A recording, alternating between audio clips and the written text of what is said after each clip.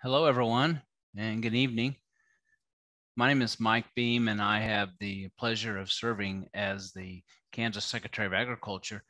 I want to welcome you to the sixth annual Kansas Summit on Agricultural Growth. Uh, I appreciate uh, your time this evening uh, to have a discussion about the opportunities for especially livestock uh, in Kansas. Although this year, uh, our Ag Growth Summit uh, we'll be back in person for the main event uh, next month. But based on last year's uh, interaction, we decided to continue with the sector breakouts uh, ahead of that and, and do it uh, virtually so that it's most convenient for each of those who have an interest in various sectors uh, to meet in advance and give us some really good feedback. Uh, please know that uh, we realize at the Kansas Department of Agriculture that the strength of Kansas agriculture comes from all of our producers' hard work, uh, as well as the serve agri services that uh, are part of the agricultural industry in the state. And we want to include everyone as we discuss uh, strategies that will help grow our agricultural industry. But tonight, specifically talking about how we best serve and how we can support, uh, especially livestock sector. So thanks again for taking uh, time out of your evening. Uh, I do encourage you to participate uh, as uh, you'll understand uh, with the instructions on how to do so, but please give us your feedback. So at this time, it's my pleasure to turn it over to Carrie Weefald. Carrie? Very good. Thank you, Secretary Beam. I am Carrie Weefald, and I work here at the Kansas Department of Agriculture in the Division of Agriculture Marketing. And we're just really glad that you've chosen to spend some time with us this evening to visit about the specialty livestock industry here in the state of Kansas. We will be spending the next hour and a half together, learning, listening, hearing, and being encouraged um, from content experts as well as producers within the Kansas specialty livestock industry. Um, we know here at the Department of Agriculture that this sector is very wide and diverse. Um, Kansas has many species that reside within the specialty livestock area, such as goats, sheep, bison, alpacas, llamas, buffalo, just to name a few. Um, compared to our more traditional livestock, our specialty livestock farms tend to be a bit smaller. However, we still rank in USDA NASS reporting. In 2021, um, USDA NASS reported Kansas ranking 12th and 14th in the nation in meat, goat, and market sheep inventory, respectively. Also, when we look back to our 2017 Census of Agriculture, which is the most recent census on publication, Kansas ranks 10th in bison with over 5,727 head raised on 90, about 95 farms across the state. At that time um, of the census, Kansas also totaled about 1,500 alpacas, more than 500 llamas, and all, almost 11,500 rabbits in our inventory. So that's a lot, very diverse. Um, the vision of our agency, though, is to really provide an ideal environment for long-term sustainable agriculture prosperity and statewide growth, no matter what agriculture sector you might reside in. Our summit sector sessions provide a platform for us to entertain opportunities and open dialogue about ways we can advance certain sectors within our state. So tonight, we are really excited to share with you um, content experts as well as producers from across the state who have a vested interest in the specialty livestock industry. I do have a few housekeeping reminders though before we introduce our first speaker. The first is during the presentation portion, which we will have three content experts during our first presentation portion. All participant microphones will be muted by our meeting host if you haven't already muted yourself. If you do have a question during the presentation, feel free to drop it in the chat box. My colleague Tori Laird will pick that question up and direct it accordingly. The host will grant permission to unmute after we move out of the presentation part. So if you do have a question, you're always happy. Uh, we welcome you to ask that. But we also ask of you that perhaps you give your name, um, where you're joining us from, and then if there's a specific sector uh, within especially livestock area that you have interest in. Um, at any time during the call, if you need any assistance, you can always raise your hand or you can message us individually in the chat box. And lastly, our session this evening is being recorded and will be posted online on our Kansas Agriculture Growth website with our other sector area sessions um, that are taking place between now and August 26th, which is our in-person growth summit. So without further ado, it is my pleasure to introduce to you our first presenter in Dr. Emily Reppert. Um, I will tell you Dr. Reppert is traveling today. So if we have any connectivity issues, let's just be patient. And then she does need to exit um, not long after her presentation. So if you have any questions specific to Dr. Reppert, please drop those in the chat box and we'll make sure we get those to Dr. Reppert before she leaves or at least provide you with her contact information. Dr. Reppert received her doctorate of veterinary medicine from Colorado State University and completed her residency at Oklahoma State University. Dr. Reppert's basic science research interest is in tick-borne diseases, and her primary clinical research interest is in therapy for the management of urinary diseases in ruminants and management of metabolic diseases in small ruminants and camelids. She is currently an associate professor in agricultural practices with the College of Veterinary Medicine at K-State. She teaches food animal medicine and surgery clinics to third and fourth year students. Dr. Reppert enjoys running, cooking, and spending time with her terrier mix, whose name is Ralph. So uh, please help me welcome joining or welcome in join me in welcoming Dr. Reppert for her presentation today.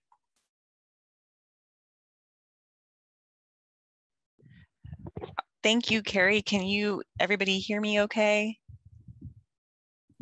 Yes, we can. Okay, awesome.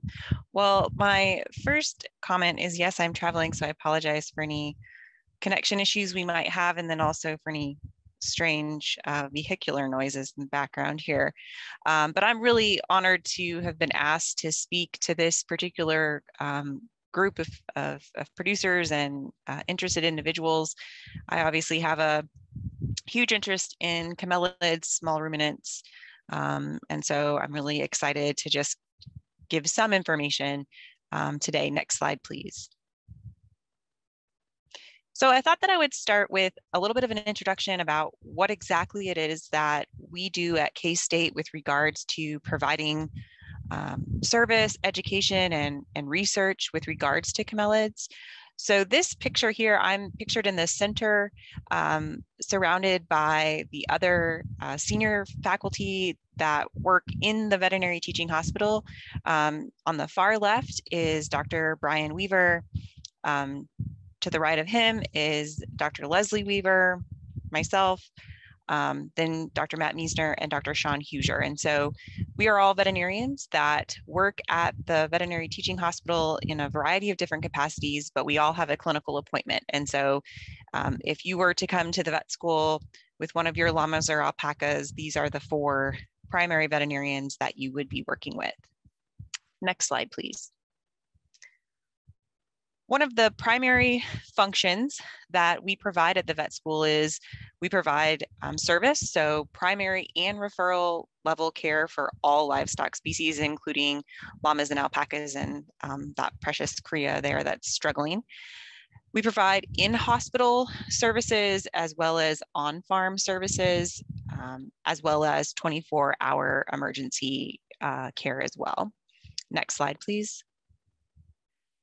We obviously have a huge teaching component as well. And so one specific area that we have tried to focus on, um, K-State is unique in that we have a teaching herd of alpacas that has been um, generously supported by not only the university, but local producers, um, the Midwest Alpaca Foundation, um, and it has really been a tremendous opportunity for our students to get hands-on practical skills with regards to restraint of llamas and alpacas, as well as um, just practicing basic um, handling uh, features such as blood draws, foot trimming, um, and just getting exposed to them in general. And so this is a group of third year veterinary students that are practicing physical exams on some of our teaching alpacas. Next slide, please.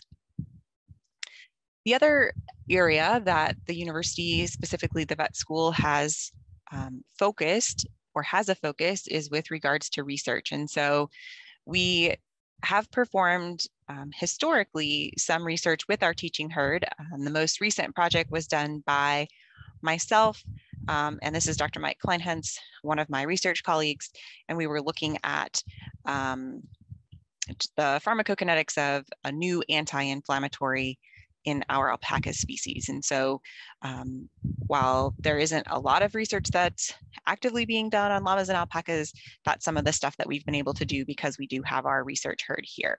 Next slide, please.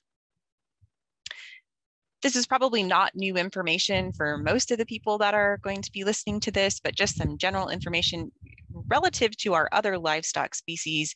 Camelids are in general relatively recent additions to the domestic herbivore population. So the first llamas and alpacas were imported to the United States in the late 70s and early 80s. And since that time, uh, for a variety of different reasons, owners have struggled to find um, veterinary care. Next slide, please. So one of the reasons that veterinary care has been a challenge for producers um, is largely due to a general lack of knowledge, potentially, and then also um, not a lot of comfort necessarily with with with this species in general, with certain with certain populations of veterinarians, just because of lack of experience working with them. So some of the common diseases that we see in camelids in this part of the country, um, I'm going to review. And next slide, please. probably one of the most important diseases or body systems that seems to be affected that that we will see a lot of camelids will would be gastrointestinal disease and so that can range from anything from um, gi parasites to dental disease and then also certain cancers that affect um, the gi system as well the parasite of most note is probably the barber pole worm, which I'm not sure what Dr. Crane is going to talk about, but is certainly a problem in sheep and goats as well. Um, that's the one that um, causes disease by consuming blood from the, the host animal. And as a result, the animals can become um, anemic and very weak. Um, additionally, the other parasite that we see that doesn't really affect the gastrointestinal disease, um, but is what we call the meningeal worm, and so um, can cause some pretty serious um, neurologic deficits in llamas and alpacas, and we do have that, unfortunately, in the state of Kansas, and that's something that we uh, see and treat all the time. But this is kind of a cool image. This is a, actually a CT scan of an alpaca that has a tooth root abscess. Um, and one of the things that we have the ability to do here at the university is get some of these awesome diagnostics so that we can know which teeth are affected and um, remove them as needed. So um, again, just one of the things that we commonly see. Next slide, please. The other rather unfortunate thing that we see in the llamas and alpacas are a, a, series of congenital abnormalities. And part of that has to do with just this relative small gene pool relative to some of our other species or other breeds of livestock. Um, and the two that we see probably the most commonly, one is a devastating disease called uh, choanal atresia, which is essentially where they're born without um, a way to breathe through their nose um, and is almost essentially um, fatal. so that's what's being demonstrated in the cria on the left. The, they shouldn't flare their nose like that and they shouldn't be open mouth breathing because llamas and alpacas are kind of unique species in that they are what we call uh, obligate nasal breathers. So they can't actually get air into their lungs by opening their mouth. They have to be able to breathe through their nasal passage. And then this other one is what we call atresia ani, which is where they are born um, without an anus essentially. And so um, another reason that we see uh, very young um, crias in the clinic. Next slide, please.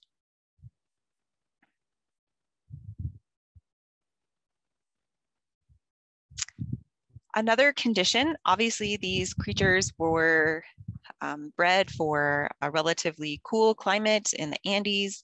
And as a result of that, um, in the hot, humid summer months in particular, um, if llamas and alpacas are not appropriately shorn um, or shorn ahead of the really hot, humid season, one condition that that we can see is is heat stress. So really, they lose the ability to thermoregulate when they have that really dense, beautiful fiber.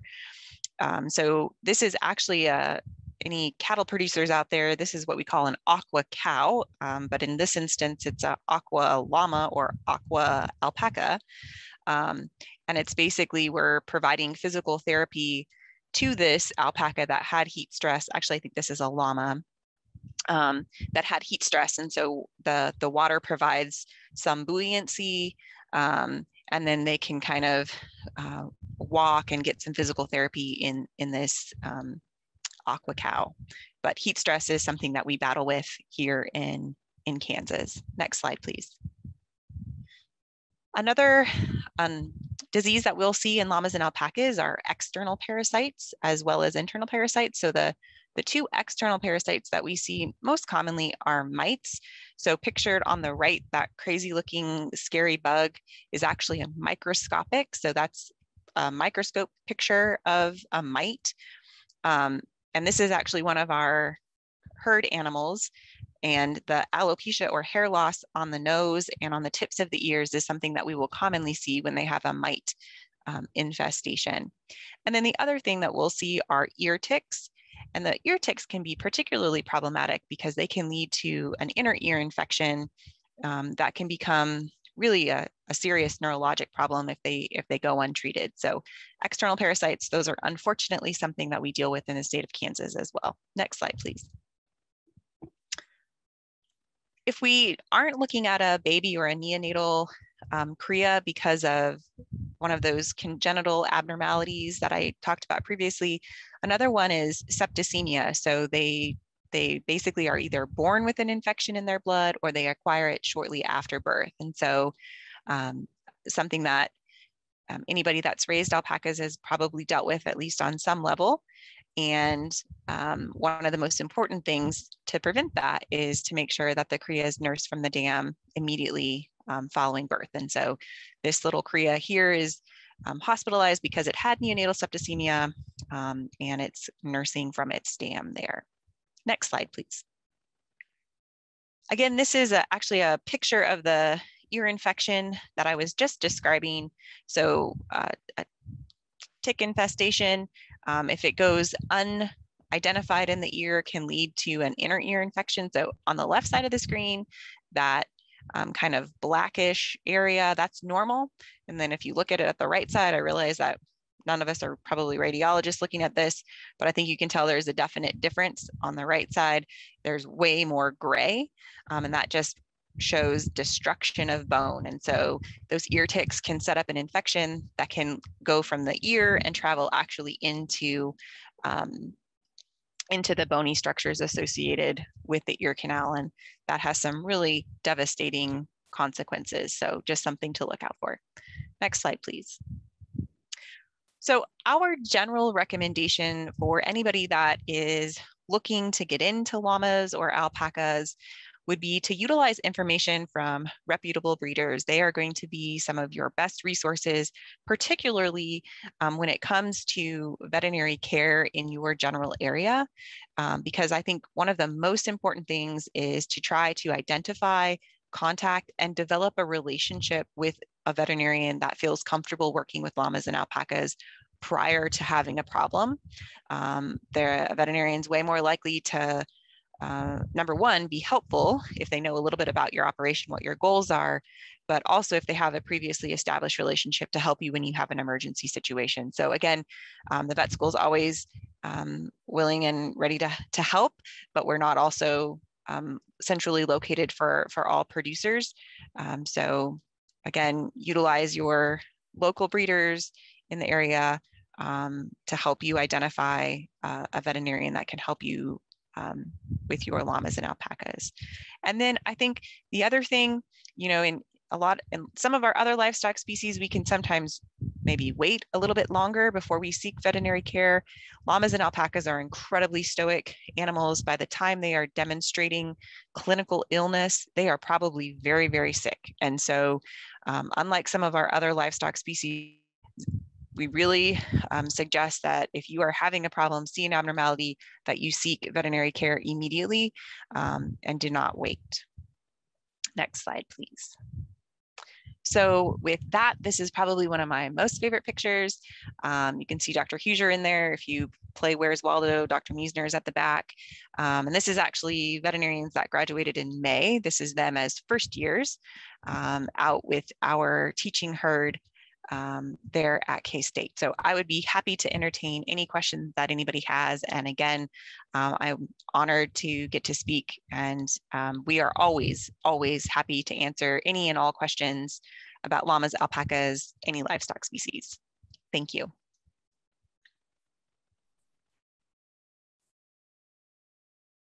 Very good. Well, thank you, Dr. Reppert. I certainly learned information from your presentation and I hope those on the call also uh, were able to learn a thing or two about taking care of the camelids. Are there any questions or thoughts or comments back to Dr. Reppert before she transitions on?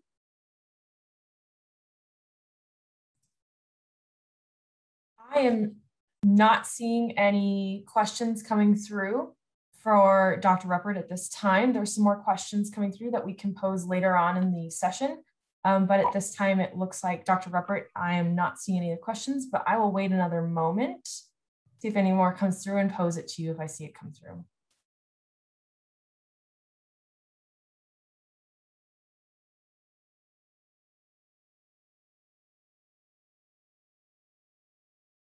Very good. All right. Well, thank you, Dr. Reppert and Tori. We're going to continue on. I do know we have some conversation in the chat box uh, regarding beekeepers. We'll get to those a little bit later in the session, unless any of our veterinarians um, or extension specialists have um, specific examples or responses to those. Our next presenter this evening is Dr. Allison Crane. Dr. Crane was raised in Warrior, Alabama on a small horse farm, assisting her father with shoeing horses, as well as barrel racing and team roping. Dr. Crane's interest in agriculture grew through her father's business and working for a Brangus ranch and large animal veterinarian in Northern Alabama.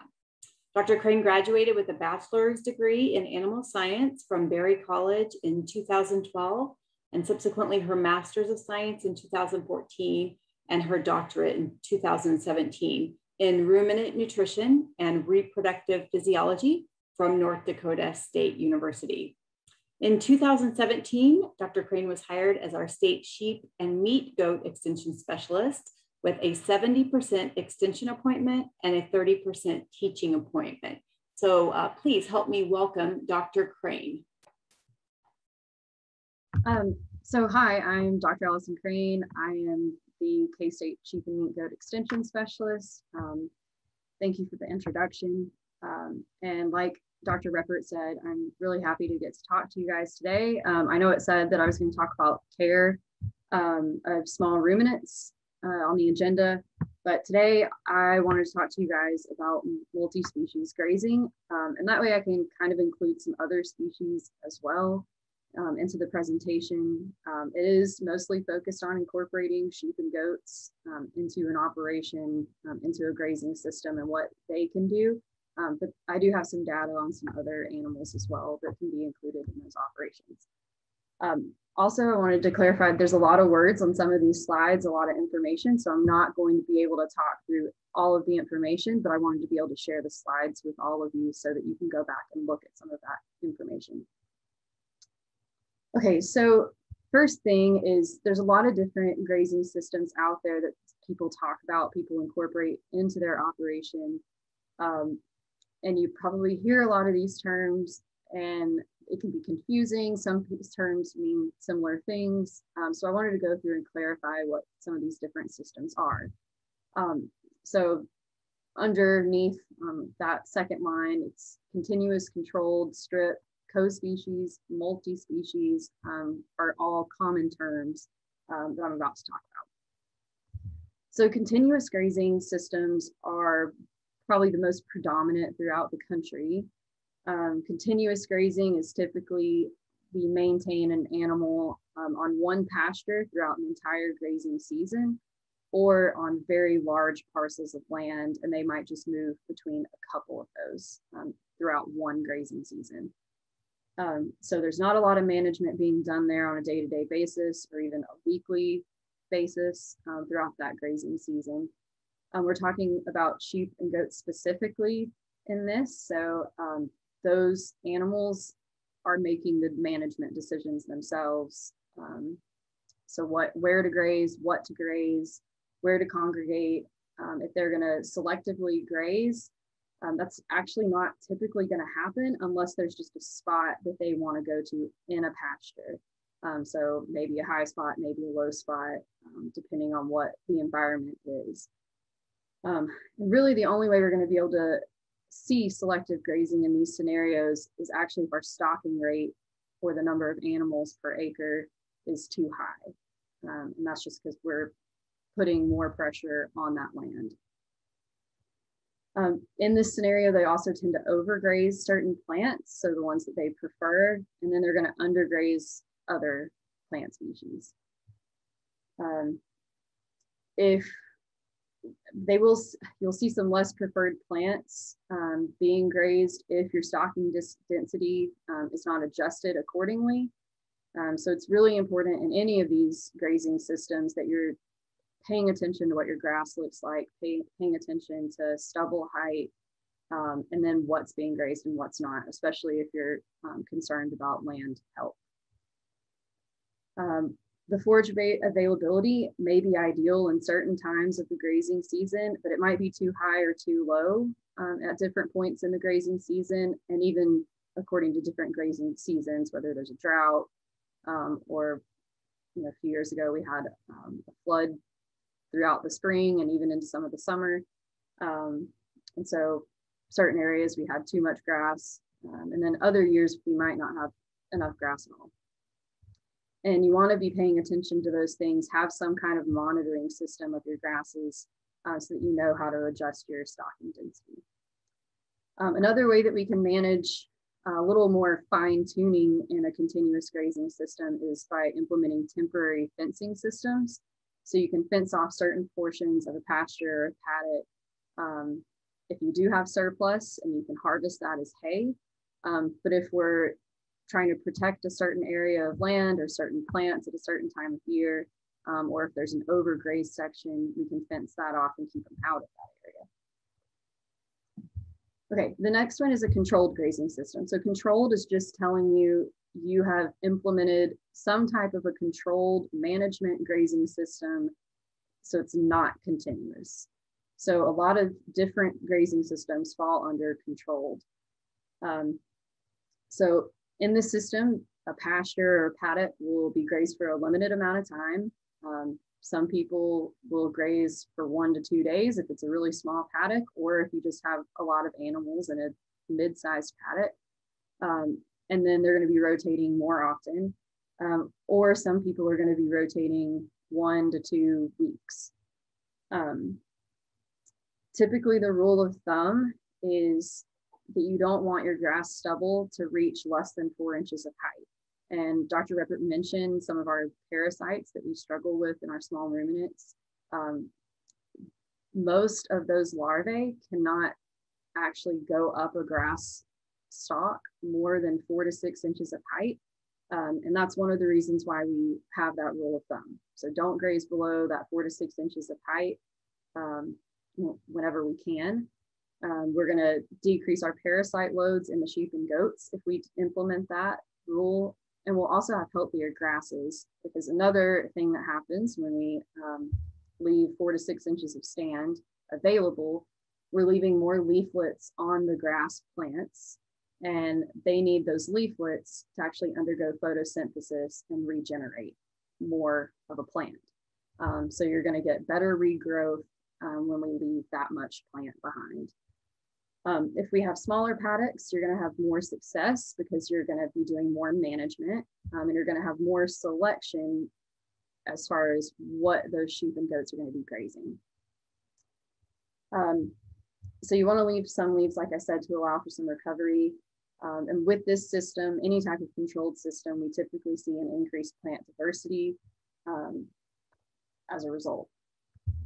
So the uses, we can implement some pasture improvement, especially here in the Flint Hills by implementing a controlled system. We can extend our grazing seasons, um, improve the quality of the forage that the sheep or the goats are getting. Um, and if we're implementing this in an already established cattle grazing system, the cattle are also going to um, have that increase um, quality forage available.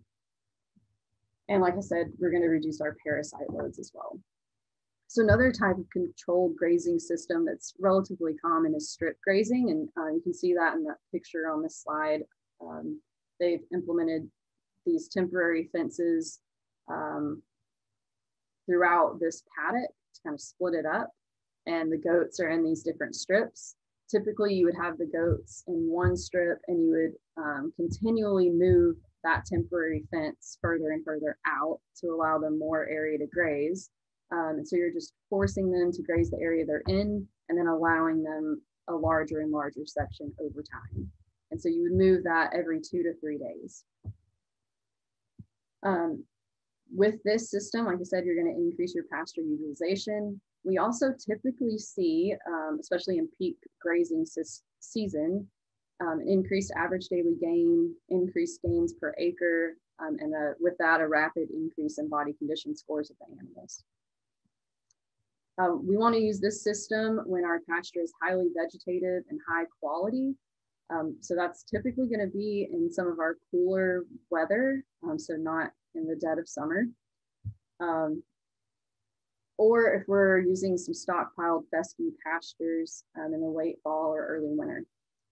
Uh, when we have low quality forage available, um, cattle and sheep can still fare pretty well in the system but the goats are going to tend to be too selective in the in that um, system uh, when we run into low quality forage. Okay, so some good versus bad. Um, when we implement controlled grazing systems of any kind, we get higher utilization because we have more control of what the sheep or the goats or any animal for that matter is consuming. Um, in seasons of fast growth or excess growth, um, we can utilize what the sheep and the goats are not consuming as hay, um, so storing forage for later on in the year. Um, we can also stretch our season or stretch the availability, um, but we're also going to be forcing consumption of less palatable plants. And depending on our rotation, especially if we have multiple species in the system, um, we can really make sheep or goats or llamas or alpacas um, or anything else we might be grazing force them to eat things that cattle won't and then graze the cattle in behind them. Um, but some other things that people don't think about, and these can be negative as well as positive, depending on your point of view. Your animals are going to tend to be tamer in these situations because you're seeing them more often, you're handling them more often. Um, you're going to have less waste because you're going to have less trampling in most cases and less urine and dung um, concentration. So it's going to be more evenly distributed. Um, you're going to be seeing the animals more. So you're going to typically have better management on a day to day basis of the animals. Um, the negatives is it can be a higher cost because there is some temporary fencing. Sometimes you have to have more fencing if you're trying to make um, smaller permanent paddock fences. Um, you have to think about predators. Um, if you're bringing in sheep or goats or other small ruminants into the scenario with cattle, um, sometimes if we don't really think about how we're going to lay out pastures um, and we're putting in these new fence lines, uh, we can actually force them to overgraze certain areas that they were already going to prefer. So we're pushing them into those spots. Um, and we can make force some wet or dry areas. Um, and then if we give too long of a rest period to some of this land, uh, we're going to have too much forage available and not be able to get it right back around to it before it actually um, matures um, to a point where it becomes low quality. Okay, so this is one of those slides. There's a lot of information on it, but the thing I really wanted to point out here is that behavior amongst all species of our grazing animals differs um, from cattle to sheep to goats to llamas, alpacas, bison, elk, deer, whatever we're talking about, um, they all differ. And I have a table in here where you can actually see how much they differ. Um, and we want to be able to utilize that. And so one of the best ways we can do that is by observation of what the sheep, goat, animal is doing um, when they're out grazing. What are they eating? How long are they spending in certain areas? And no one's going to know that like the person that's there managing them. Um, and it can even differ by breed. So you want to make sure that you're paying attention to that and managing it to the best of your ability um, and not overgrazing and not um, undergrazing and leaving forage behind and wasting forage. Um, so we want to use their habits, their grazing habits to complement the pasture, the forage that we have available. Um, so when we talk about implementing small ruminants, um, camelids into a cattle operation, uh, one of the biggest benefits is that parasite load, decreasing the parasite load. And cattle are a dead end for most of our parasites um, that we have in sheep and goats. And so a lot of people don't want to graze with the cattle. Um, it's actually one of the best ways that we can um, lower our predation rates is actually bonding the sheep or the goats or whatever we're talking about to the cows. The cows kind of ward off coyotes in that scenario. Um, and it can take a couple of weeks, but um, it works very well in most cases. Um, but if they don't, if you don't want to do that, if that's not the appealing scenario, uh, we actually suggest that um, whatever animal has the highest nutritional need, that they graze the pasture first so that they're getting the nutrients that they need um, before you're actually making them select, be more highly selective of their forages. Um, so this is that table I was talking about um, that kind of breaks down across a few different species of um, animals and talking about what they prefer grass over um, forages versus browse plants. So some of the major things to consider um, in implementing some of these systems is, like I said, aligning the nutritional need of the animal with the stage of production that they are in. Um, so if they don't need a whole lot of nutrition, you can really force them to be more selective. Um, you also want to pay attention to your stocking rates um, so that you're not overgrazing or undergrazing. Um, predator control is necessary in a lot of these scenarios, whether that's a dog um, or bonding them with another species of animal that can provide protection, um, implementing proper fencing, and then knowing some of our rules of thumb for stocking rates um, with other species. So for sheep to cattle, it's usually a five to one ratio, um, and goats, it's usually a six to one ratio, goats to cows. Um, but in a lot of these controlled scenarios, we can increase our stocking rates by about 25% on a lot of pastures. Um, so these are some old pictures from North Dakota where they actually used controlled grazing systems. Um, this is with sheep in particular to control some of the invasive species of plants that we have problems with. In this case, it's leafy spurge. Um, here in Kansas, we have the wild honeysuckle um, that we can also control with small ruminants um, as well as a lot of others. Um, you see goats can be used to control that underbrush. Um, and in this scenario, goats especially can make some of our invasive shrubs vulnerable to things like fire. Um, so grazing them with the goats and then following up with fire, fire can actually be very useful in controlling um, some of our invasive species.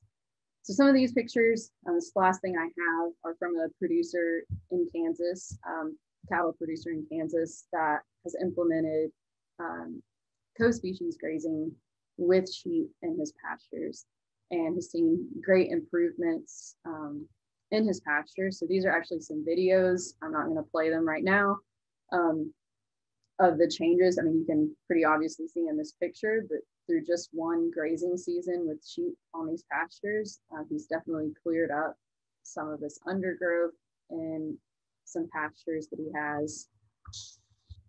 Um, and then these are just some more pictures that he provided of these pastures. Um, so the sheep have done a really good job um, grazing what the cattle wouldn't.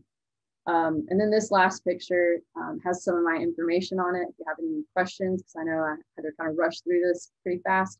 Um, but in that the background of the picture, um, you can see where the cows are, and that's where the cows grazed that year. And he wanted a fence line comparison. That pasture right beside it is actually where the sheep were. Um, so they pretty obviously cleaned up that pasture. Um, and he's actually been doing this for every year since these pictures were taken. And he said that they've just continually improved. Um, he's pretty happy with it. Um, and more and more people are getting interested in co-species or multi-species grazing, um, which is why I want to talk about it today. And with that, I thank you for letting me talk to you guys today, and I will hopefully be able to answer any questions you might have. Very good. Well, thank you, Dr. Crane, for sharing that information on um, sheep and goats and grazing and all of the good work that um, you contribute to the state of Kansas and the producer outreach and support that you provide our producers. We're going to continue on. Um, I see we have some chat comments coming in. Um, we're going to move on to Dr. Gardhouse and then we'll have a pause. And if any of our, um, our specialists would like to provide information back um, to the comments, we certainly will allow time for that. And Tori will lead that session.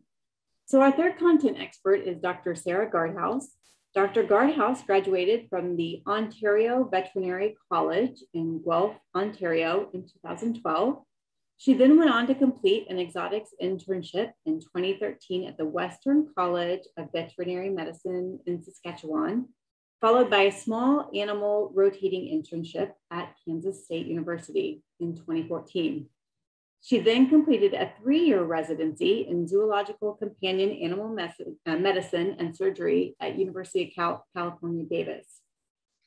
She then returned to Ontario Veterinary College as a clinical specialist and then eventually um, transitioned back here to Kansas, where she is an assistant professor in the exotic pet, wildlife, and zoological medicine department here at the College of Veterinary Medicine. Dr. Gardhouse, thank you for joining us this evening. Thank you so much. Can everyone see my screen and hear me okay? We can, thank you. Perfect. Um, so tonight I'm just gonna go kind of over a brief overview of rabbit production, both husbandry and welfare um, in, in this species. So I think first, one of the things that we should always ask ourselves is why are rabbits in production? And there's a lot of different reasons that we use them. So not only for meat and their wool, um, but we also use rabbits for breeding stock, for laboratory use, like you can see in this image here, um, for their skin and their hide, as well as for youth programs like in this image here. So lots of different uses for rabbits in production medicine. I think what's also important to keep in mind is the differing breeds. So there's actually a lot of different rabbit breeds that are used in production medicine. And so I've done a couple of tables here just to kind of give an idea of what some of these breeds look like, what their sizes are like, and then what their most common uses are. So um, the American chinchilla named for its fur color and looking somewhat like a chinchilla is a blue-gray bunny. Um, they're quite a bit of a larger rabbit. Um, our Californian rabbit, they can have these unique features with their white, um, with kind of black tipping on their nose, their ears, and their feet. Um, and they're commonly used for meat and fur. And then these Dutch bunnies um, are most commonly used in laboratory uses. They're quite small um, and they have this kind of classic band of fur um, on their body that you can see there. Other common breeds that are used in production are your English spot rabbits. So you can see um, why they're named that way based on this picture. Um, the Flemish giant, which is a very large breed of rabbit, um, most commonly used for meat.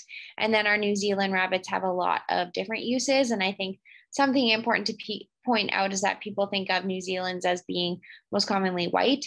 Um, but there are New Zealand reds and blacks as well. And you can see a picture of the red New Zealand red variety right there. So, one of the important things to keep in mind when thinking about a successful rabbit operation is to know um, how to select your stock. And so, the having a prime stock selection is what is going to lead to a success or failure of that rabbit operation. And so, things that we want to think about looking for are the health of the rabbits, their vigor, their longevity? Do they have a good history with reproduction? And then do they have appropriate and good conformation? And one of the ways that we can do this to make sure that we're selecting things properly is to get records from the breeder. So that's a key feature of this. Housing is very important. So there's a lot of factors to consider. And if they don't have proper housing, then their health is also not going to be uh, appropriate. And so things that we need to think about are the climate, um, how large or small scale that operation is. So it could range anywhere from small to large. And then what type of production system the rabbits are going to be in. So is it going to be intensive, extensive, or semi intensive? And so those are all going to be factors that play into how you decide to house your rabbits. One of the really important things is the cage or hutch construct. And so there's varying on opinions on how we should house these bunnies. Um, one of the important things is that wire is often at least recommended for the sides and the roof over wood. And the reason for that is because it's much easier to clean and disinfect. So if you have wire and you can clean and disinfect it easier, that also means that you're likely to be able to see less disease in your herd of rabbits. Um, and then just thinking about that, I think logically it makes sense. We know that wood absorbs urine and water, so that's going to be really difficult for us to sanitize. The other thing is that rabbits like to chew on everything. And so if they have a wood hutch, they're likely to kind of gnaw on the bars of that hutch and kind of, you know, potentially cause trauma to their mouth or destroy the hutch that you have. Um, and overall, just the wire is going to be more durable for those bars. The flooring is also somewhat of a bit controversial in terms of what is best for these rabbits. Um, and so one of the strong recommendations is wire mesh, and that comes with both pros and cons. So if you think about it, it's somewhat self-cleaning. So all of their urine and feces are going to fall down below, so the rabbit is not sitting in them. So that's a benefit to it for sure.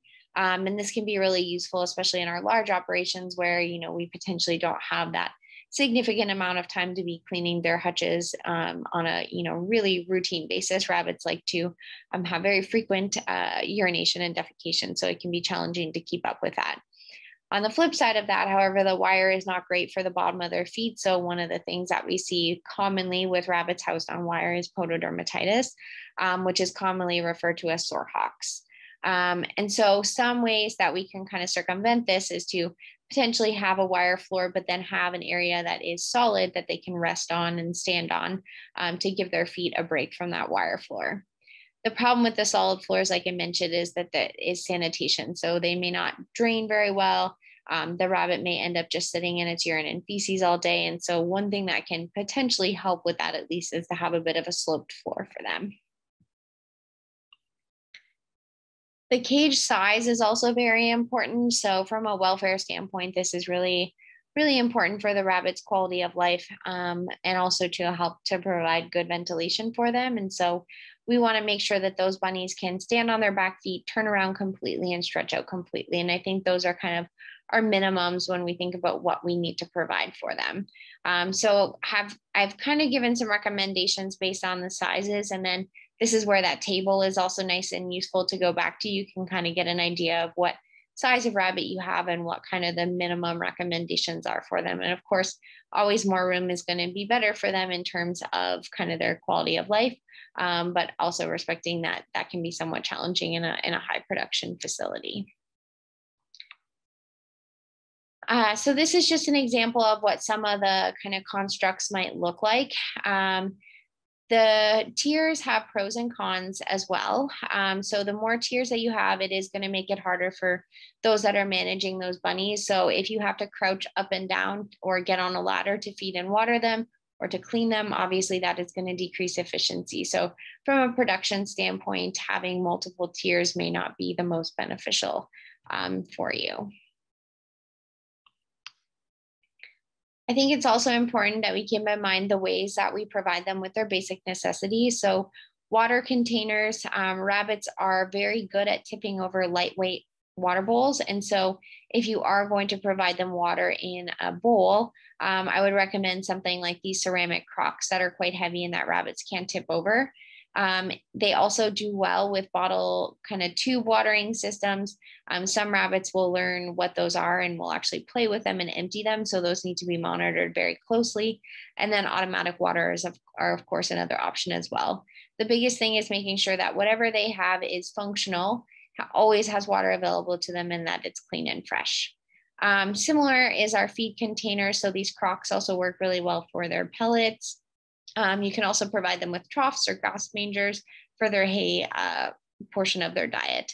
And then if they are does um, that are going to be uh, giving birth, then making sure that they have nest boxes because that's super important for them. They like to build quite elaborate nests when they're about to give birth. Uh, it is strongly advised not to keep does and bucks in the same cage. And the reason for that is that um, you know, there's potential for trauma and harm to each other. And so, really, what's recommended is to only keep them together long enough for mating to occur um, and then to separate them again after that.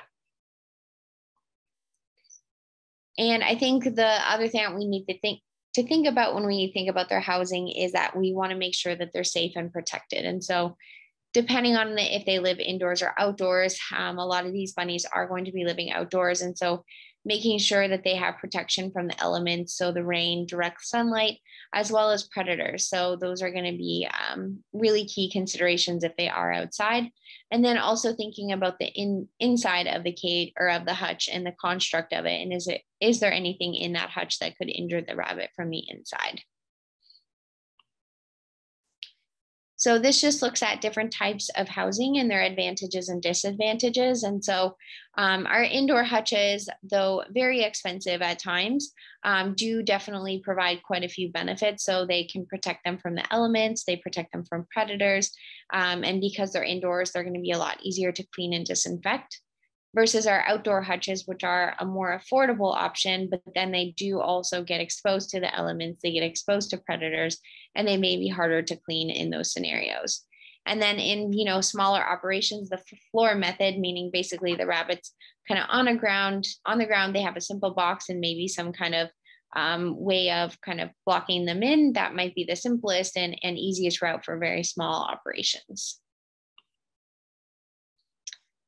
What's also important to consider is nutrition. Um, so in rabbits, they can certainly survive on forages alone. And when we look at them from a pet type setting, that is often more our recommendation. Um, but we know from a production type setting, we also have to think about their productivity. And so the addition of grains and other things can help to improve the herd productivity. And one of the most major expenses of keeping rabbits is feeding them. So they are not, not cheap um, to, to be able to feed and raise. So we think about their nutrition based on their dietary needs, and that's based on whether they're growing and fattening, whether they're resting does and bucks. So are they not pregnant and not lactating? Um, are they pregnant? And then are they lactating does with litters? And each of those classes is going to have varying dietary needs. And I think, you know, based on kind of just looking that, at that, you can tell who would need more calories and more protein and more calcium than those that wouldn't. And so your resting does and bucks are going to probably be lowest calories, lowest protein, that sort of thing. And your goal is that you really want to look at what meets the needs of each of those specific groups, and that will allow them to perform to the best of their ability and then ensure most optimal productivity in your herd. So certainly they should always have as much grasses and legumes as possible um, available to them. And, and like I said, in, in many scenarios, that is all that rabbits need. Um, but from a production standpoint, then it is also recommended that there's a commercial feed added into that. And usually the recommendation is at least 16% crude protein. Um, the amount of commercial feed will depend on the group of rabbits. So those four groups of rabbits we go back to, you know, again, the ones that are higher producing may need have higher demands than those that are resting and, and not producing at that time. Um, they need fresh water always. And something that I think is quite surprising with rabbits is that they have a remarkably high water consumption. So much higher than a lot of other mammals that we know. And so making sure that they have lots available to them at all times is very important. Um, and then just making sure they have a small amount of mineralized salt available, especially if they're housed outdoors and it's, it's very warm out. Um, and then we want to just make sure we do this because this is going to ensure our optimal breeding and reproduction and meat production. Whatever the rabbits are being used for, we want to make sure that their diet is going to optimize that. Something that is not as well known in rabbits is that they practice something called cecotrophy. And so this is essentially a second type of fecal material that they produce and it's consumed directly from their anus. And so this is a picture of a, a kind of a packet of cecotrophs on the, the side of the screen here. They're not the most pleasant uh, thing to look at. Some people describe them as looking like a ball of grapes. Um, and this is a normal behavior. So some people are quite alarmed by this behavior, but it's it's quite normal. And essentially, it's done in order to be the most efficient efficient digestive system possible. Um, and they do this by basically consuming these and getting a lot more protein and vitamin D um, and other minerals and vitamins from that food the second time around. Um, and so it does mean that when they're on really high protein diets, they may actually not eat all of their cecotrophs um, because the cecotrophs have that high protein in them. So they may not actually have those high needs um, if they're on a really high protein diet. There's varying types of feeding system for feeding systems for production rabbits. And so um, the three most common that we think of are an extensive system where essentially the system is completely dependent on forages and kitchen waste. And so this is a cheap and easy system. So basically, um, it allows you to easily provide that quantity of food. Um, but the forage is certainly going to be variable depending on the season that you're in and what you have may have varying quality. Um, but it is labor intensive, obviously, that you have to do all of this on your own.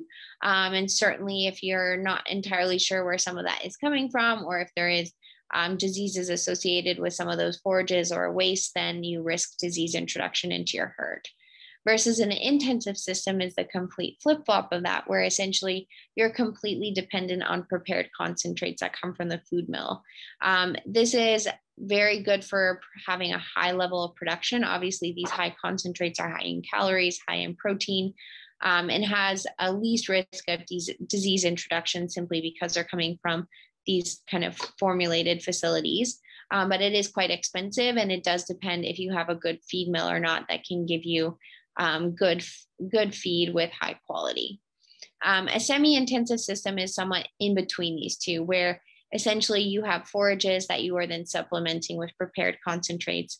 And this is what a lot of producers will do, especially our small scale producers.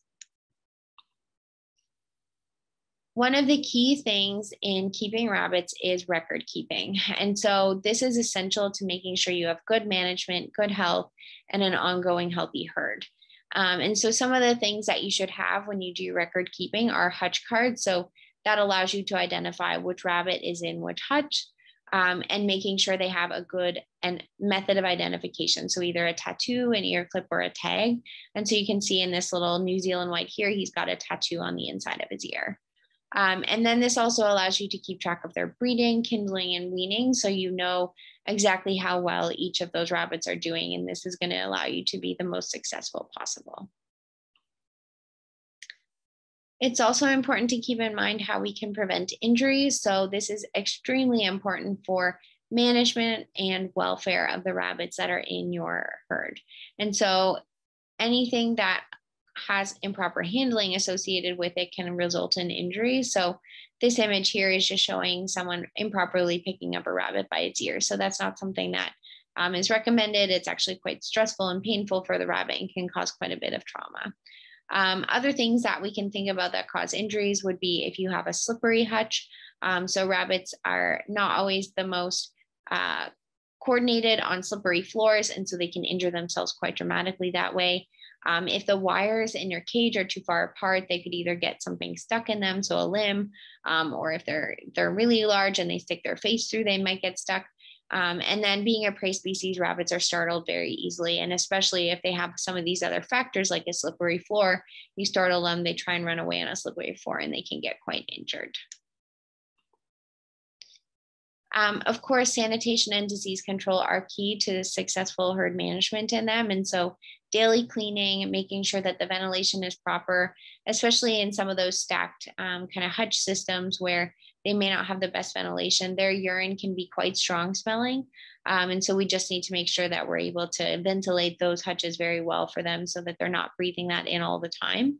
Um, considering culling any of your unhealthy and diseased individuals. So there's a lot of infectious diseases that these guys can get um, that then become kind of endemic in your, your herd of them. And so you want to make sure if you do notice unhealthy rabbits that they're either being kind of managed and treated and separated um, or potentially culled depending on the severity of signs. Um, certainly avoiding overcrowding is very important. Um, and then, like I said, quarantining and separating sick animals. So that's really, really important. When one animal is noted to be sick, they should be transferred to a separate facility um, on your property somewhere and um, kind of d- done last in terms of their management. So clean them last, do everything with them last so that you're not potentially transmitting what they have back to your healthy rabbits. Um, having really good, solid nutrition for them. And then, of course, if you're breeding them, making sure that you're selecting for good traits for them. So that was just a very brief overview of kind of management and welfare of rabbits um, in a herd type setting. But essentially, um, we want to make sure that we have a clean, appropriately ventilated um, system with rabbits that are being closely observed. We want to make sure they have protection from all of those elements, both internally and externally. And then, of course, having that most optimal nutrition depending on what class of rabbits that they fall into.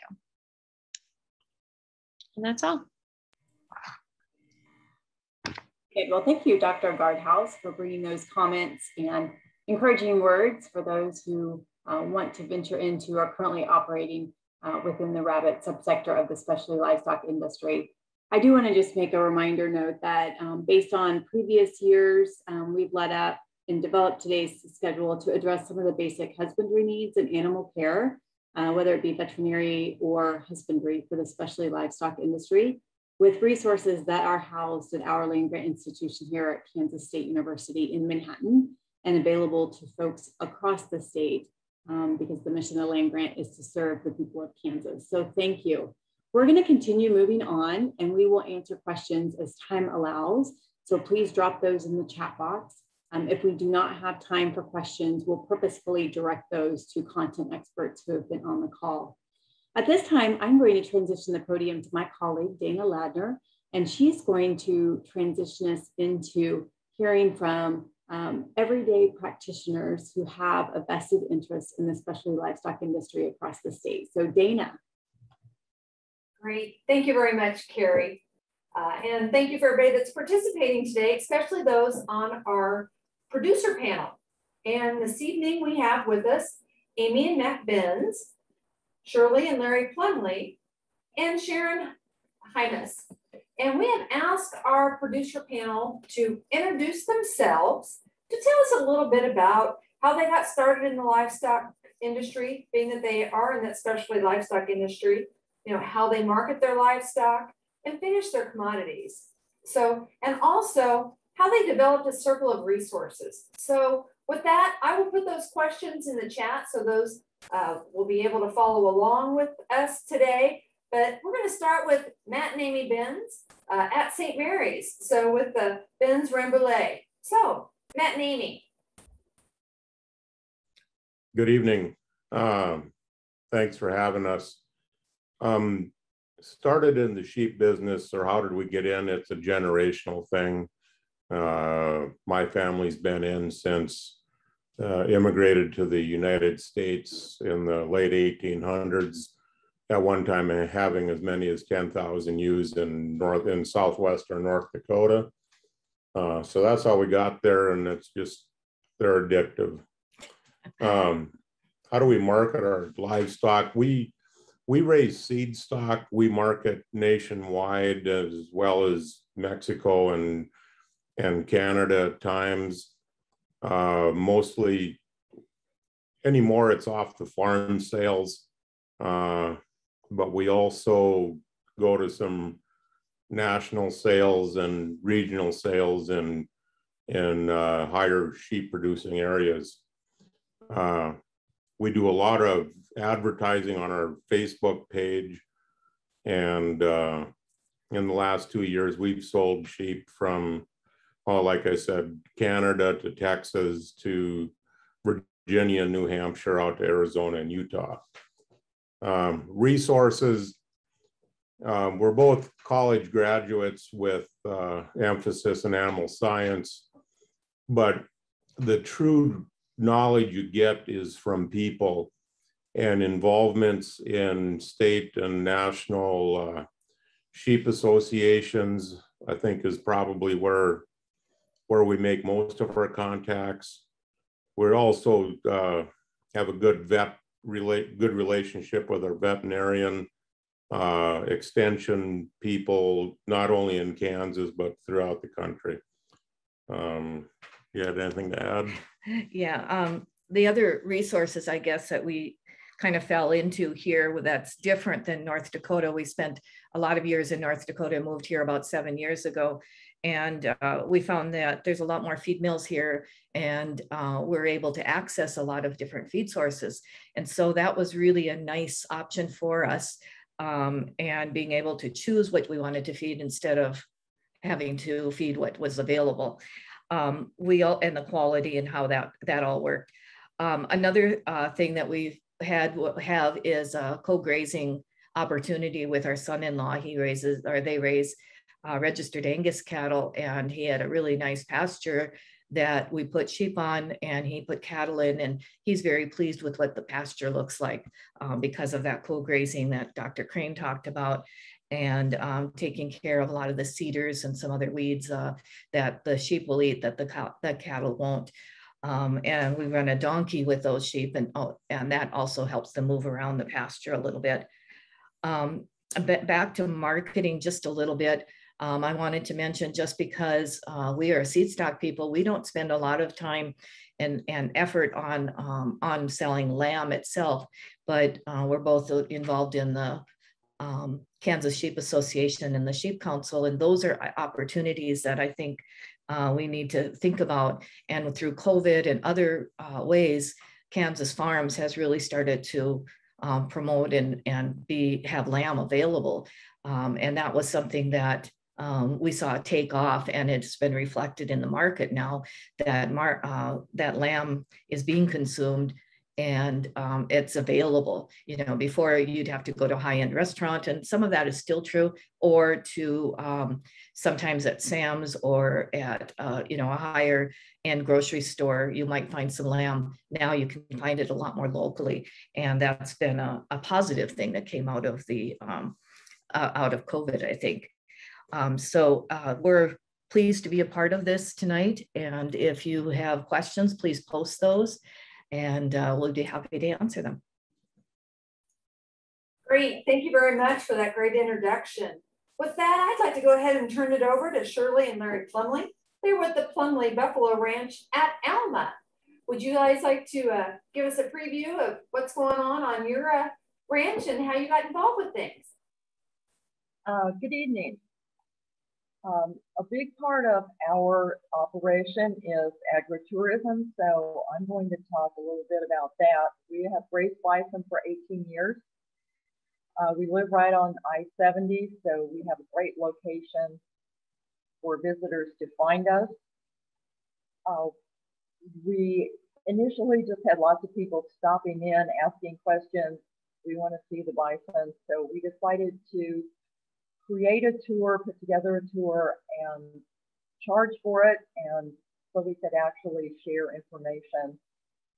The first step was to create a website, which is plumleyranch.com. If you want to know more about us, you can go to our website. Uh, that is a valuable help. Uh, we made it clear on our website that we do tours by appointment only. So that eliminated the drop-in, um, making it a lot more convenient to schedule tours. Because we live on 400 acres, we have to take people out to the bison. So we um, put up signs on our property, large signs, so the people could find us more easily, giving our phone number uh, so they could contact us. Uh, we are registered with Kansas Agritourism, which puts us on their website. That helps people find us. Uh, by doing that, it also gives us um, extra liability that is provided, thankfully, by the state of Kansas for agritourism people. Uh, we also uh, pay for an ad in the Kansas Travel Guide every year, and a lot of people pick up that information and find us that way. Uh, we have designed a brochure that we uh, give people that's available at a lot of local area businesses, restaurants, uh, travel centers. So a lot of people find us that way. And I've created a Facebook page for the ranch. So I can post pictures, visitors can post pictures, um, talk about their experience when they came to see us.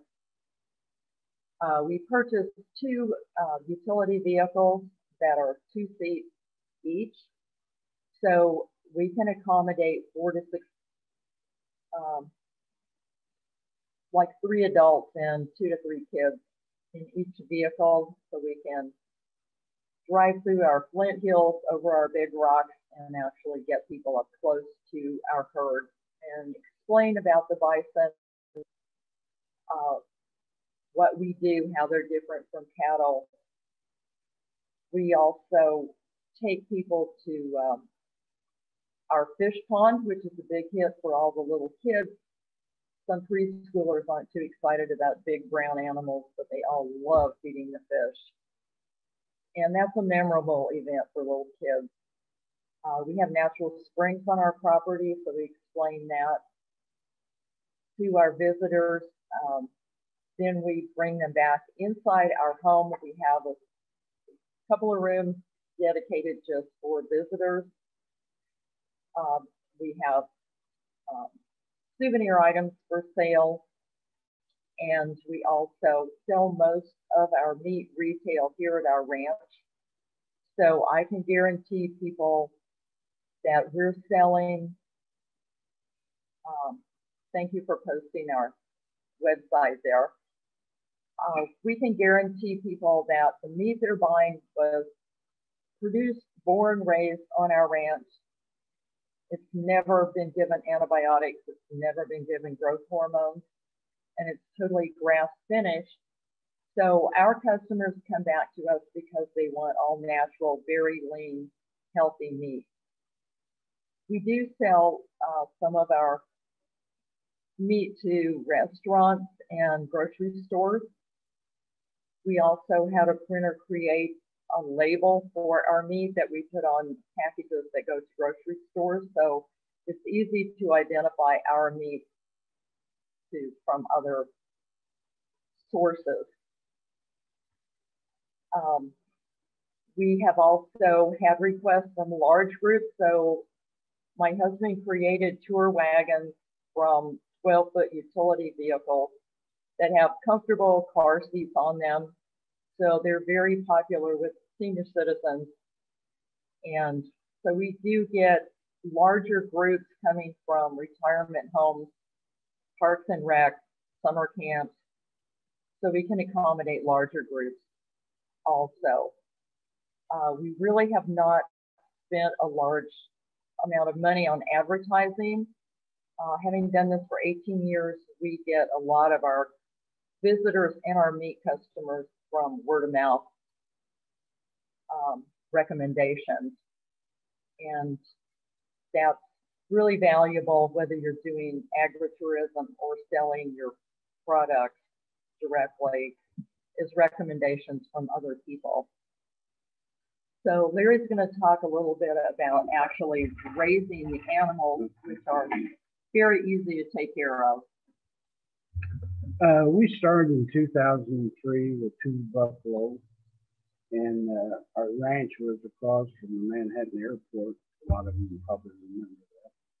And we only had 65 acres there. So 2009, we moved out to uh, I-70 ranch out here, which give us 400 acres of good native grass.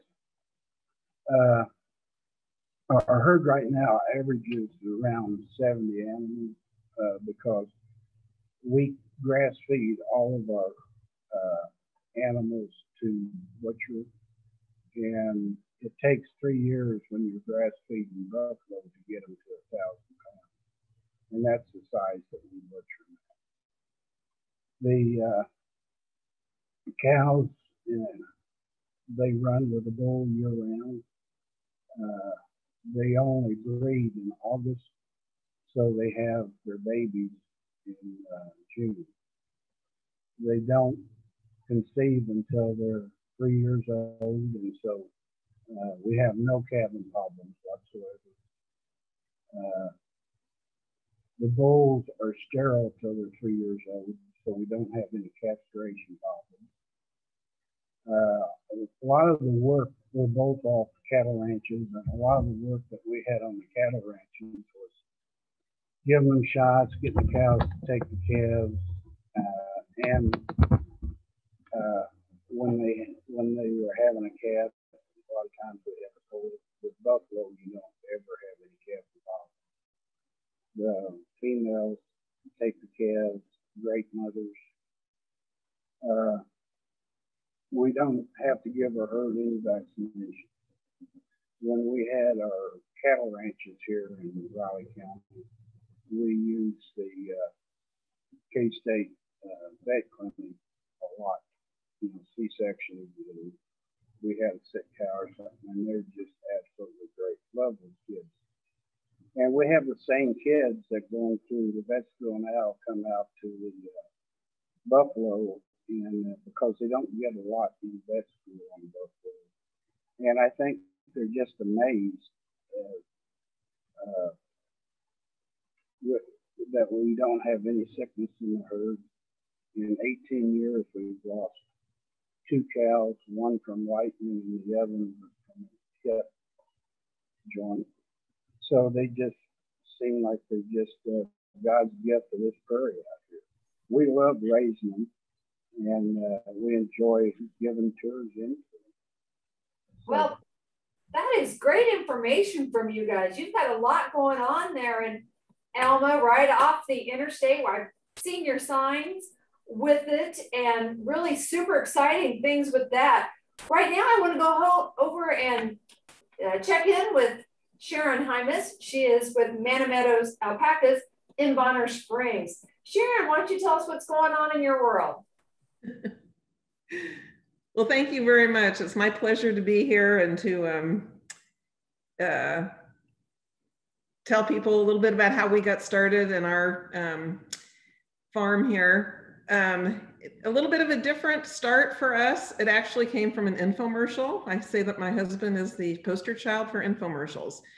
He watched one one night back in 2000 and um, had never heard of alpacas before and was very intrigued because we both love to work with fiber and uh, anything that has to do with fiber. So we actually went up to the Northwest where a lot of alpacas were at that time and spent a weekend on an alpaca farm and fell in love with the animals and decided that was something that we would want to do. But it took 10 years before we actually got our alpaca herd. Um, we got it from a little farm down in Gardner. So we started with nine and um, I'm going to skip, I know we're really limited on time. I'm going to skip down to how did we develop a circle of resources because I think the most important thing we did was develop a mentorship relationship with the people that we bought our alpacas from. They were a wealth of information um, when it came to feed and shelter and just anything that you needed that alpacas needed, they had had experience. So we've been raising alpacas for 11 years. We currently um, have 20 that we have on the farm. We've been up as high as 50 before, but we do breed and sell the animals, um, as well as they are shorn once a year and we use their fiber. We have it processed into yarn and use it for making um, things. And again, limited time, networking is incredibly important. Um, we also do a lot of agritourism, so I'm not going to um, belabor that point. Point. We've joined TripAdvisor. Um, we've had our uh, articles from Parent Magazine, Visit KC. So we're kind of a little unique place um, here, in, and we're in Bonner Springs, by the way. uh, we do do alpaca shows uh, with some of our animals that we think are worthy of it, and that is a great place to network and again find out how different people um, do different things on their farm. And we visited a lot of farms before we got ours. And I wanted to address before I close. I mean, if you we do open houses, we do all that kind of stuff. We do a lot of self education. Um, but there was a question about what is the main crop from alpacas was in the chat. And I would say the main crop are babies if you're a breeder, if you're not a breeder, or even if you are a breeder, and their fleece, um, which we call fiber rather than wool because it's very different than sheep, sheep fleece.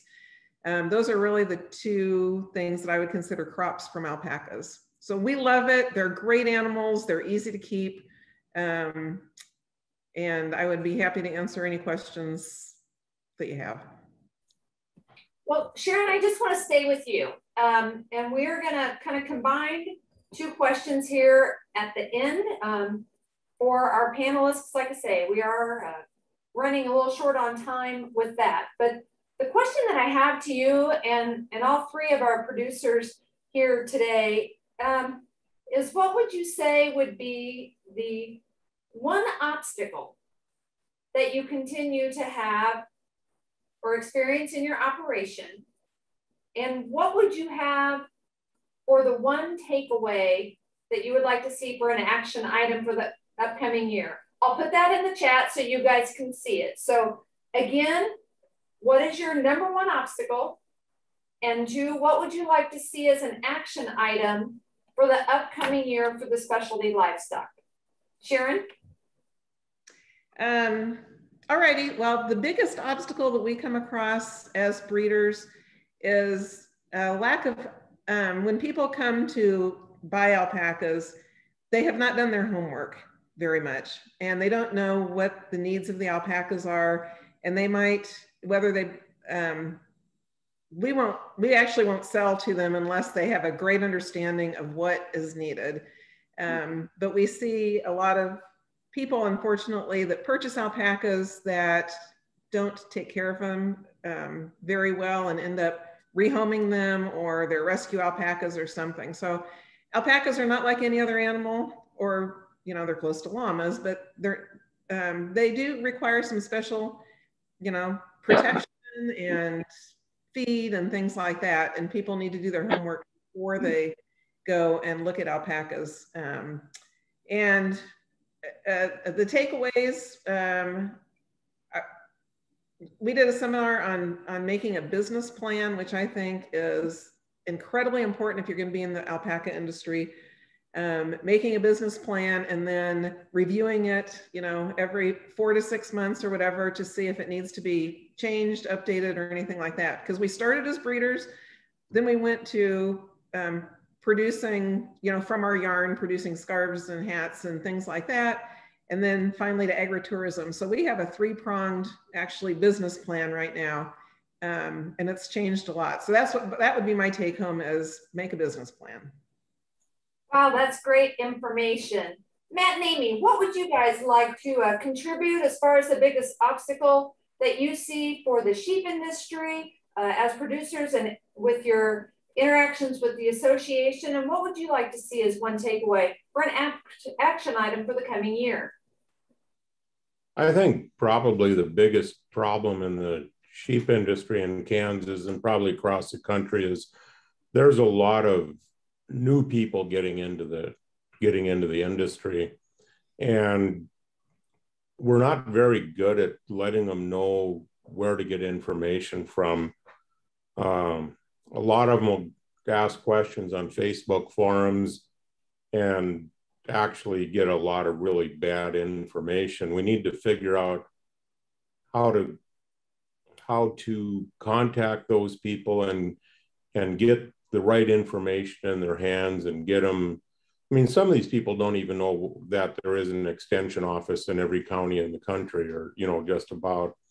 So that probably answers both your questions because I think that's something to work on for the next year is get these new producers in not only in, in sheep and, and goats, but in every species uh, where they can get good and good solid information that isn't maybe sketchy like some of the responses on Facebook can be.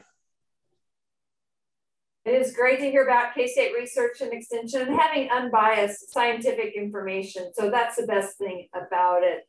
So with that, Shirley and Larry, what do you have to contribute here for uh, the takeaway and an obstacle? Our biggest obstacle now is the uh, local meat lockers.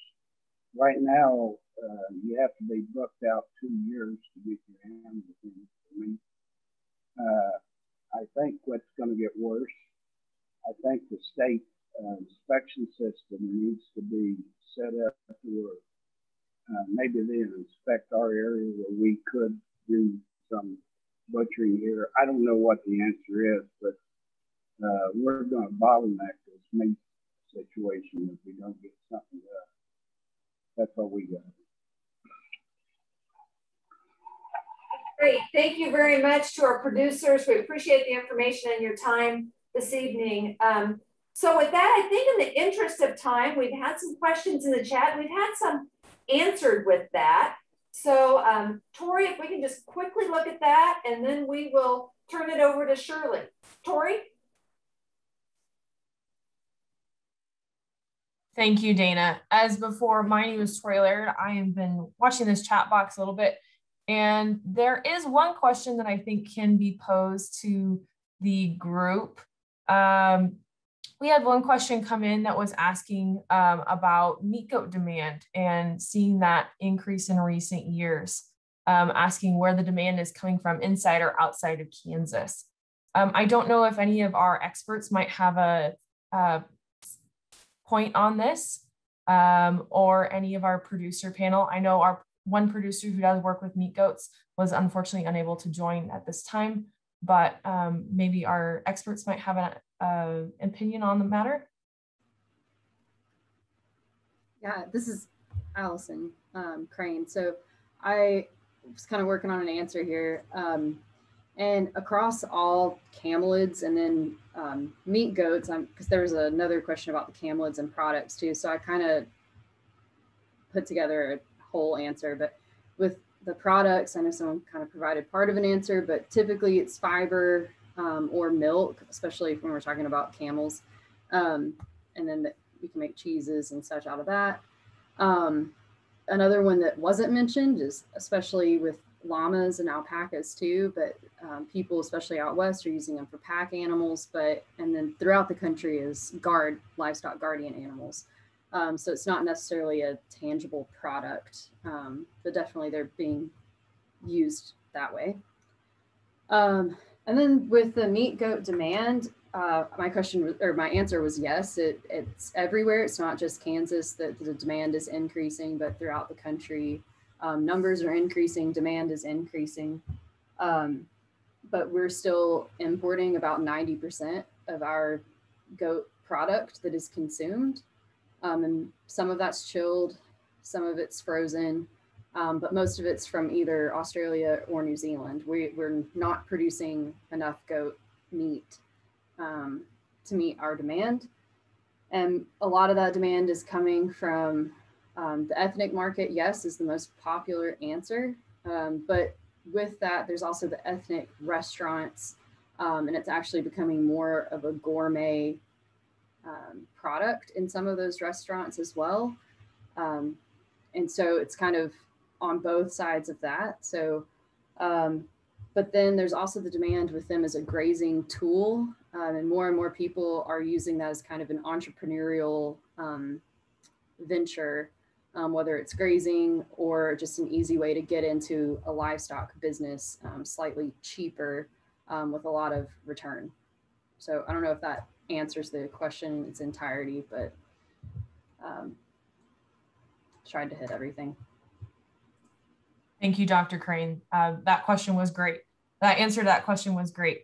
I think we are all out of time for questions at this time, but we will take questions from the chat and bring back a response to all of our attendees. And I will move on and hand the mic over to Shirley. Thank you, Tori. Um, Sean, can you put that poll up quickly, please? Um, this poll is comprised of industry identified desired growth outcomes for the specialty livestock sector. If you could just take a couple of minutes and um, choose your top three priorities, um, we'd appreciate that. And if you have a specific industry need that you wish to address, please just drop that into the chat and we will work on that um, throughout the year. I'll just give you a couple of minutes here.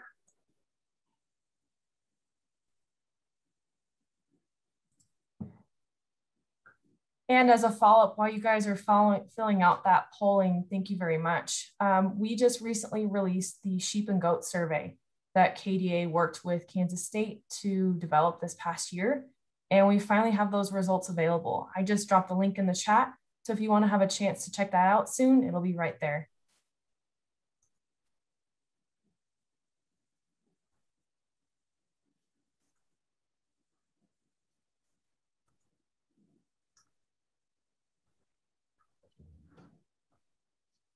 Okay, so it's it's looking like um, we have a tie right here. We have additional K-State research and extension personnel to support especially livestock production and access to education and extension programs on husbandry and management with focus on nutrition and veterinary resources. And that's no surprise to us from what we've heard tonight from everybody. So um, we will um, move forward the next year working on these outcomes. Um, and we sure appreciate you taking the time tonight. And I'm going to pass this on to Carrie for some closing comments. We're running pretty late on time. Sorry about that, folks. Very good. So we're three minutes over. Um, but I just want to extend a hearty thank you um, to our content experts, to our panelists, and to some new groups like our Kansas honey producers who are joining us for the first time um, for this specialty livestock sector. So thank you to everyone who made time this evening to hear the testimonials from across the state on this um, important industry to our state. Secondly, we will capture all of the chat comments and we will do follow-up outreach with each of you who have posed a question that has not been answered thus far um, due to our time constraints. So in closing today, I just again simply want to thank you I hope you were able to listen, learn, and uh, maybe have interest peaked into stopping and visiting some of our specialty livestock producers, um, noting whether they take an appointment or you can certainly just stop in depending on what their website or their Facebook groups might say. Uh, we will proceed on August 26th with an in-person Kansas Ag Growth Summit in Manhattan. We welcome your participation either on site in person or through a virtual registration option. Registration is open for this event and um, the registration access is at www.agriculture.ks.gov backslash summit. So we hope and encourage um, that you'll make a day and come to Manhattan or join virtually. Secondly, I want to highlight that this is the second year the Department of Agriculture will be um, offering the Kansas Ag Heroes program. We encourage you to submit nominations of an individual or a family or a business operating within the Kansas agriculture sector that you feel have provided a notable contribution to the agriculture industry and their community um, this past year. The nomination period is open for the Kansas Ag Heroes uh, program and it will close on August 13th. So know you're always welcome to engage with Kansas Department of Agriculture events, whether it's follow up via email or actually attending um, an event such as the Ag Summit that will be held on August 26th. In closing, again, just a hearty thank you for spending your evening with us. A lot of valuable information was shared, and we wish you the best for the remainder of the evening and the remainder of your work week. Thank you.